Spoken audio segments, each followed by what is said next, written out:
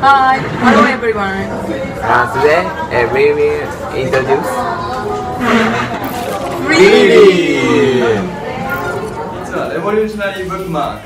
It's also useful, small size, high quality, Simple and cheapest. It costs only 150 yen. Yeah! To show you an example freely can help you. The man seriously reads a book in a platform. The train got to the platform, not sorry. Oh no, he couldn't take the train and put a bookmark. So he lost which page he was reading. But if you use freely, you don't have to worry about that happening. I show you how it works.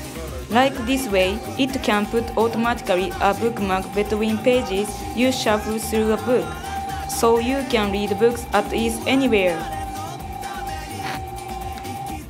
Look, look, you can open pages easily. If you like reading books, you should buy it. Please try it!